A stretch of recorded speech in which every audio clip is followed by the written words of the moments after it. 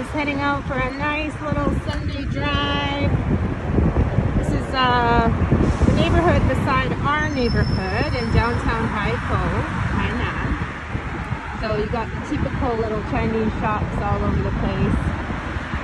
And it's interesting because each district is known for uh, different categories of supplies. So if you're looking for plumbing supplies, you have to go to one district. If you're looking for printing supplies, you go to another district. If you're looking for refrigerators and appliances, you go to a district. So it's really interesting how everything is organized.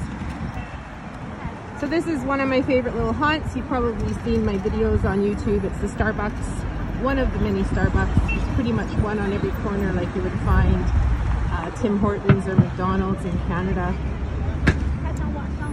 and uh, we come here and sit on the patio and push out our work. It's a huge mall, mostly Chinese shops. There's some Western shops in there though, but they're all mostly Chinese shops.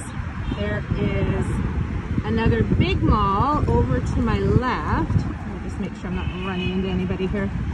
Um, but there's a bigger mall over to my left and that's where you'll find Calvin Klein and Sephora and I'm just trying to think of other brands. Tommy, maybe. Um, no, I don't think the Gap is in there.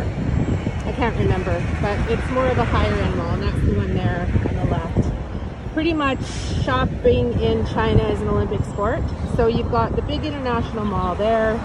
You've got the huge three-story mall we just drove by. And then there's another NPark mall that has Adidas and a bunch of sporting goods and, and high-end sort of Chinese shops and H&M and all that kind of stuff. So pretty much any district in China, you're going to see shopping malls on every street corner.